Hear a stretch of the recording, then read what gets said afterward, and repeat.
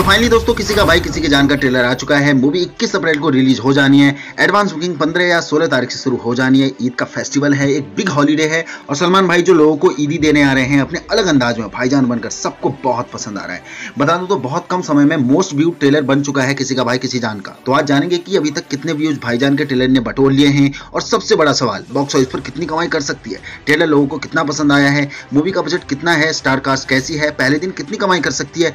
क्या पठान को दे सकती है। सब जानेंगे, बस कुछ ही देर में तो वीडियो को अंत तक ज़रूर देखना, लेकिन उससे पहले वीडियो को एक लाइक और नए हो तो चैनल को सब्सक्राइब ज़रूर करना। तो चलिए शुरू करते हैं। तो दोस्तों, फराज सामजी के डायरेक्शन में मात्र 120 करोड़ के बजट में बनने वाली फ़िल्म किसी का भाई, किसी की जान, जिसको लीड एटीट्यूड किंग एक्शन के बाप सलमान खान ने किया है। बता दूँ तो बेहतरीन स्टार कास्ट के साथ फ़िल्म को सजाया गया है, जिसमें आपको पूजा हेगड़े, वेंकटेश, जगपति, राघव जुयाल और रामचरण जैसे दिग्गज स्टार भी देखने को मिलेंगे। बता दूँ तो दोस्तों ट्रेलर को जनता के द्वारा काफ़ी पसंद करा जा रहा है और सलमान सर के लिए भर भर के कमेंट कर रहे हैं ट्रेलर में। लेकिन साला मेरे कमेंट बॉक्स पर एक भी कमेंट नहीं आ रहा है। खैर, कोई नहीं। बता दूँ तो ट्रेलर को 24 घंटे के अंदर ही 50 मिलियन से ऊपर व्यूज़ मिल गए थे, जिससे साफ़ पता लग रहा है कि ट्रेलर के लिए लोग कितना बेसबर थे और सलमान से कितना प्यार करती है पब्लिक बात करें मूवी की तो 21 अप्रैल को रिलीज़ करी जानी है और एक अच्छी खासी ओपनिंग लेते दिख सकती है अपने पहले दिन ही। अगर अनुमान लगाया जाए तो कम से कम पैंतीस करोड़ की बिग ओपनिंग ले सकती है। ज़्यादा से ज़्यादा कितनी कमाई कर सकती है, अभी कुछ नहीं बोल सकते, क्योंकि ट्रेलर को क्रिटिसिज्म भी अच्छा खासा मिल रहा है लोगों की तरफ़ से।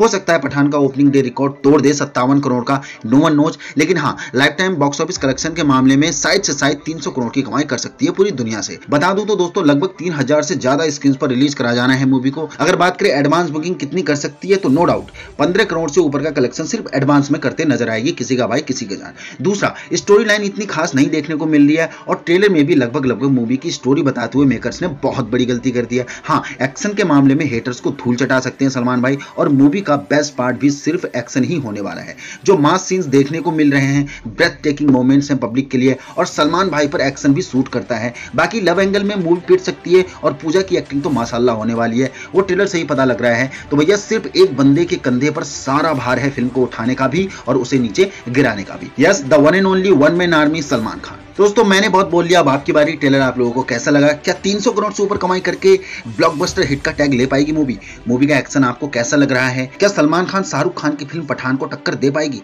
आपको क्या लगता है? नीचे कॉमेंट बॉक्स में ज़रूर बता के जाना। बाकी बॉक्स ऑफ़िस से जुड़ी सारी अपडेट्स के लिए और बॉलीवुड हॉलीवुड और साउथ फ़िल्मों की अपडेट्स के लिए हमारे साथ ऐसे ही जुड़े रहना। और अगर चैनल में नए हो तो सब्सक्राइब ज़रूर करना। दूसरा अंगूठे वाला बटन दबा के वीडियो को लाइक ज़रूर करना। मिलते हैं अगली वीडियो में। जय हिंद।